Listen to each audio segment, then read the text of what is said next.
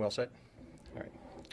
Uh, Good afternoon. I am James Seebock. I'm an Assistant Sheriff at the LVMPD. I'm here to brief you on additional details as we know them today about the first officer-involved shooting that occurred on Friday, December 30th, 2022. This officer-involved shooting, number 13 for 2022, fatal number 8. The same time in 2021, we were at 10 OISs, with six of those being fatal. This event was initiated as a person with a gun event on December 30th at 11:01 a.m. The officer-involved shooting occurred in the 4000 block of Calusa Circle, Las Vegas, Nevada, which is in the Northeast Area Command, and the map is on my left. The officer involved, I'm sorry, the involved officers are as follows. Number one is Officer Fernando Sotelo. He is 28 years old and has been with the LVMPD since 2017. In this incident, Officer Sotelo was armed with a Glock 17 9mm equipped with a tactical light. The investigation revealed he fired 17 rounds. The second officer is Officer Alberto Guzman. He is 27 years old and has been with the LVMPD since 2017. In this incident, Officer Guzman was armed with a Glock 17 9mm equipped with a tactical light and a patrol rifle with a .223 caliber. That rifle was equipped with optics and a magnifier. The investigation revealed he fired 10 rounds from his handgun and 4 rounds from his rifle. And the final officer is Officer Justin Terranova. He is 28 years old and has been with the LVMPD since 2017. In this incident, Officer Terranova was armed with a Glock 34 9mm equipped with a tactical light. The investigation revealed he fired 10 rounds. All these officers are assigned to the Community Policing Division, Northeast Area Command. The suspect was identified as William Allen Conkle. He was a 60-year-old white male adult, 5 foot 10, 210 pounds. He is pictured there on my left. The investigation revealed Conkle was armed with a Glock 23 40 millimeter handgun. He fired one round during this incident. You can see the weapon on the screen to my left. The suspect's charges, had he survived, is assault with use of a deadly weapon, evading, attempt murder on a public officer, three counts, assault with deadly weapon on a public officer, three counts, resisting with a firearm, discharging a firearm from a vehicle, and grand larceny, firearm. The details of the officer-involved shooting are as follows. On December 30th, 2022, at approximately 11:01 a.m., LVMPD dispatch received a call referencing a man with a gun near the intersection of Nellis and Bonanza Road. The caller stated he mistakenly waved at a male, later identified as William Conkle, who was driving a vehicle. The victim believed the car belonged to a friend. Conkle began yelling at the victim and pointed a firearm at him. Officers were dispatched to the area in attempt to locate Conkle. Arriving officers were able to locate Conkle and attempted to conduct a vehicle stop in the area of Prince Lane and Charleston, which is near Lamb. Conkle refused to stop and fled the area at a high rate of speed, endangering citizens and officers as he drove through the residential streets. Officers initiated a vehicle pursuit. Conkle drove to Calusa Circle and Sacramento Drive, where officers were able to forcibly stop the vehicle. As officers were exiting their vehicles, the suspect produced a handgun and discharged one time. The three officers fired their duty weapons at Conkle, who was still inside of his vehicle. Officer Guzman transitioned to his rifle and fired four times into the suspect's vehicle. Conkle was able to put his vehicle in gear and then drove towards the officers. Officers once again fired their weapons at Conkle, who then crashed into a brick wall in front of the house. Officers approached Conkle and requested medical attention for him. Upon medical's arrival, the personnel, medical personnel pronounced Conkle deceased at the scene. During the investigation, it was learned that Conkle had stolen the firearm from a motorcyclist approximately one hour before this officer-involved shooting. Conkle had observed a motorcyclist who was carrying a handgun inside a holster which was on his hip. Conkle pulled up next to the motorcyclist, reached out of the driver's side window, and pulled the rider's gun out of his holster while he was stopped at the light. The motorcyclist confronted Conkle, and after a brief ver- verbal confrontation, Conkle ran over the motorcycle and fled the area. The motorcycle rider was uninjured. I will now play for you body worn camera videos depicting the officer involved shooting. The first video you're about to see was provided by a citizen during the interaction between Conkle and that motorcyclist I just referenced.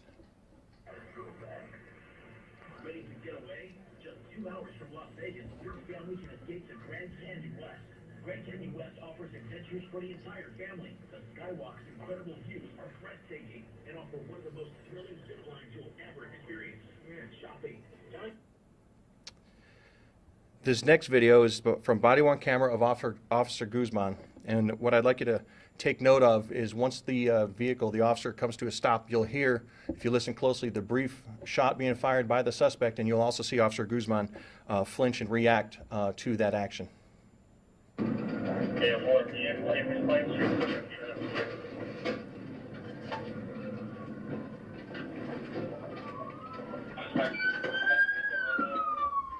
Let's see your hands!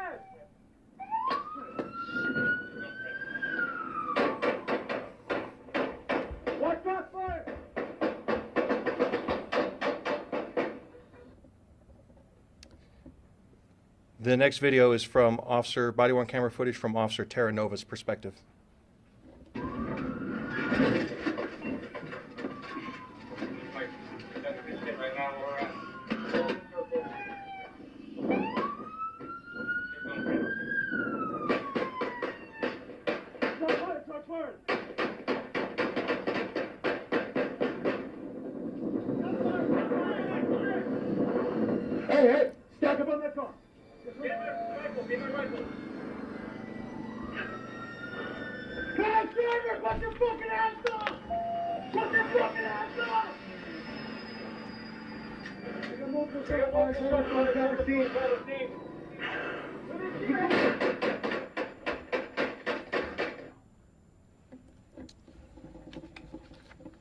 This concludes the briefing of the details. I can take any questions you may have. Yes. How many, or how long did it take from the initial call to um, the shots fired? Did that take? Uh, The initial uh, pursuit, the duration was roughly uh, two to three minutes from when they went to stop the vehicle through that residential area. Question in the back? Yes. Uh, Did you all get any uh, uh, phone calls, anybody call in the part where he stole it, when he stole the, the weapon from the motorcycle? And also, can you describe any previous run, run-ins you may have had previously with Concord? Sure. So the uh, initial call, that one actually came to uh, Nevada State Police's jurisdiction, and uh, they're the ones who had handled that call before we uh, got involved with uh, Conkle. And as far as his previous or any interaction with him, you'll have to. I'll refer you to our public records unit. Uh, to we don't really don't release that here at this time. Any other questions? Oh, all right. Thank you very much.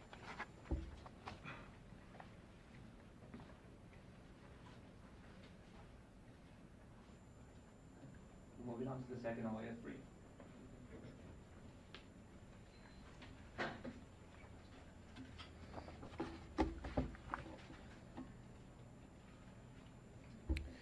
Good afternoon. I'm Sasha Larkin, an assistant sheriff with the Las Vegas Metropolitan Police Department. I'm here to brief you today on the details as we know them about the second officer involved shooting that occurred on December 30th, 2022. This is officer involved shooting number 14 for 2022, non fatal number 6. Same time in 2021, we were at 10 OISs, with four of those being non fatal. This incident occurred as a non fatal officer involved shooting because the round fired by the officer did not cause the individual to lose his life. The coroner's initial ruling is that the cause of death was a self inflicted gunshot wound. The event was initiated as a person with a gun call on December 30th at approximately 7:44 p.m. The officer involved shooting occurred at the 10,500 block of Angel Dreams Avenue, Las Vegas, Nevada, which is located in Summerlin Area Command. You can see the map pictured here on my left. The involved officer is Officer Larry Jones. He is 25 years old and he's been with the Las Vegas Metropolitan Police Department since 2019. In this incident, Officer Jones was armed with a Giselle SD 556 equipped with an optic and a tactical light. The investigation revealed he fired one round during this incident. Officer Jones is assigned to the Community Policing, Community Policing Division, Summerlin Area Command. The suspect is identified as Paul Horn Jr. He's a 58 year old white male adult, 6 foot, approximately 170 pounds. He is pictured here on my left as well. The investigation revealed that Horn was armed with a Sig Sauer 9mm pistol. The investigation revealed that he fired one round during this incident. Horn's charges, had he survived, would have been assault with a deadly weapon, two counts, resisting with a firearm, and assault with a deadly weapon on a protected person. The details of the OIS are as follows. On December 30th, 2022, at approximately 7:44 p.m., our dispatch center received information of an assault with a deadly weapon call near the 10500 block of Angel Dreams Avenue. Arriving officers contacted a male and a female who stated that a male, later identified as Paul Horn Jr., was armed with a handgun and had confronted them about speeding down the neighborhood. Officers identified Horn's residence, and in an effort to de escalate the situation, they established containment around his residence. Officers used a vehicle, a patrol vehicle's public address system to ask Horn to surrender peacefully, which you'll hear once we play the body worn camera video. Officer Larry Jones, who was armed with his duty rifle, was part of the containment team in front of Horn's home. A female immediately exited the residence and followed all of officers' commands. Approximately a minute later, Horn exited the house with a handgun in his hand and appeared agitated. Horn ignored all verbal commands from officers and walked quickly towards them while holding the firearm in his hand. As Horn walked towards officers, he raised the firearm in the direction of the officers and pointed the gun to his own head, firing one round from his handgun, and shot himself. Simultaneously, Officer Jones discharged his rifle, striking Horn. Medical personnel responded to the scene and transported Horn to UMC Trauma, where he was later pronounced deceased. I will now play for you the body worn camera video depicting the officer involved shooting. This is surveillance video from Horn's residence depicting the initial interaction that he had with the citizens driving down his street.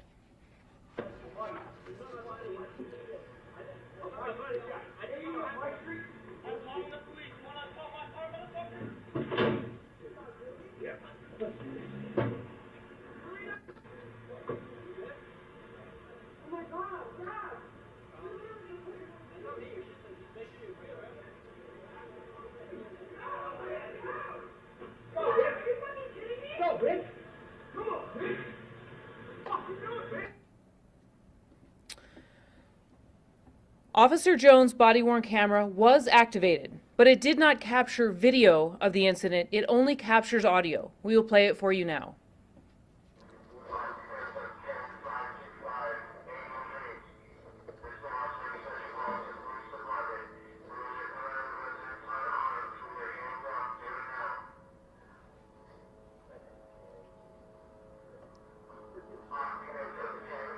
Doors open, doors open, doors open, doors open, doors open.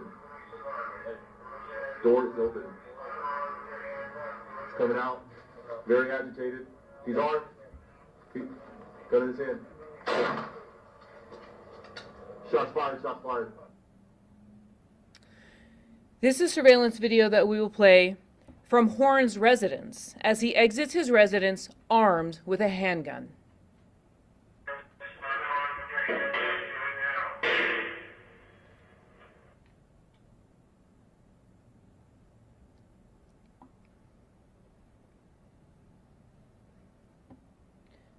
And due to the graphic nature of the video, we stopped it just short.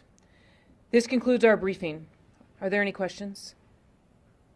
Yes, sir. The officer's body cam video, why was it only, why was only audio? It was on and the video was activated, but the way that his arms were extended, sometimes the video camera will drop down and just get covered by his arms extended or his rifle was possibly mounted on his arm. So you're saying the suspect uh, went out and then shot himself in the head, and then one of the officers fired a rifle at him? Sir, it appears on initial investigation the shots were pretty close to simultaneous.